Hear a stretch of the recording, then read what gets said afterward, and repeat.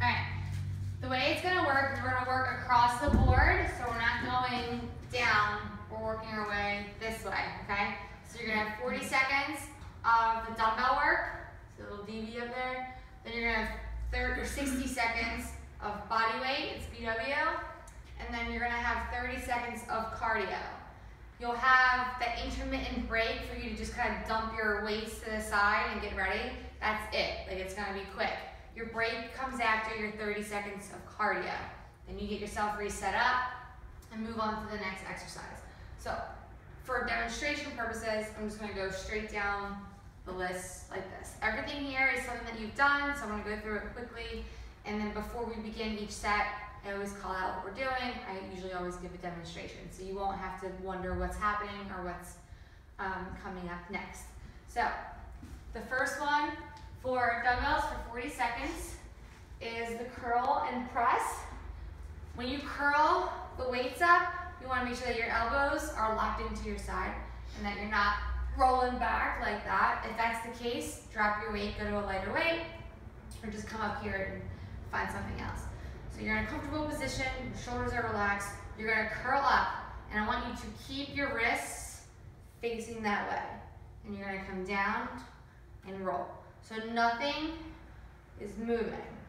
You're staying in that same plane, okay? So don't turn here, don't turn them here. You're gonna come, you're gonna curl, you're gonna press. Got it? After the curl and press, you have snatches. So in this boot, it might not look as correct as it should. Pick whatever side. So your choice, all right? Because you have two. So if you're gonna do right side first, then make sure you do the left side. But remember what side that you're doing because you have a whole set coming after. So the snatch is when you squat, right? And you, you're bringing it up. You're snatching that weight up off the ground and it's staying close to your body, almost like you're dragging it across your body, okay?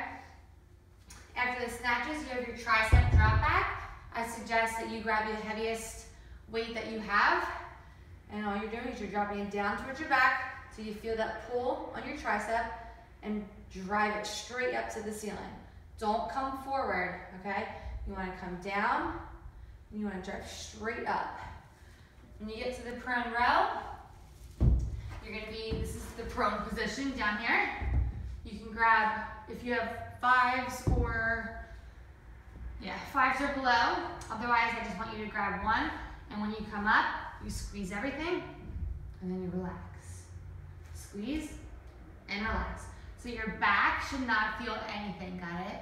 Your back should not feel anything. This is all butt, hamstrings, core. So when I'm grabbing this weight, I'm literally like pushing my stomach into the ground. So like talking as hard. So when I lift, pushing up, and I'm coming down. Got it? It's really important, okay? After the prone row, you will have the reverse grip bent over row.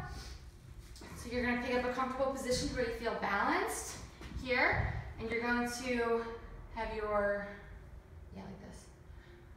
And then you're going to drive it straight back. So you're gonna pull back, arms come back out. So you're putting like your chest out obnoxiously here, and you're driving back down. Got it? Questions yet? Okay. And then bent over corkscrew. You're gonna start with your arms here, and when you pull up, you're just twisting, like you're opening a bottle of wine, a big one. I don't know. All right? Just pulling and twisting. So again, for those, I would do pretty heavy because you guys are pretty strong when it comes to your arm. All right, weights out of the way. So a 360 degree squat is not, not a jump, all right? So you're gonna find a pivot leg, and for 30 seconds, you're gonna squat. Got it? This is really easy on my boot. and then when the next 30 seconds happens, the opposite leg will, be your pivot leg. So you'll squat. Got it? That makes sense? So you're, we're going backwards. We're not, because forward will just be kind of weird. Um, the next is chaturangas. It's where you pike up, right? You drop your elbows down and you roll yourself up. And then pike yourself back. Again, dropping yourself down, rolling up, back up. Our favorite. Lunge to a squat. So you're going to lunge, reverse, and then squat. Okay? So reverse lunge, reverse lunge, and squat. Notice how I did my right leg next. So you're gonna lunge back, lunge back, squat left, lunge back, lunge back, squat right. Right here, it's lunge squat. Hand release push-ups, all the way down, hands come up, drop back down by your chest, your body comes up as one unit. And then this one might be a little weird for you to do. You're gonna have a squat hold, and then heel lift. Yeah, I'm gonna do one leg. So both feet are coming up though for you. Uh, jump in and out. You're in that um, plank position. You're gonna jump in and out. In and out. And then one-legged should be easy for me to demonstrate. You jump up, you come down, your leg stays up. Okay? And then you'll do the opposite foot. You'll be okay. Again, so you have 60 seconds. If you do one, you do one. Make it a good one, right? Uh, for the cardio part, 30 seconds. High knees, right? I can't do that. But you're pulling your knees up high, and it's only 30 seconds, so really push yourself, because you get that break after that. Mountain climbers, again, you're down on the ground, and your knees come up to your chest.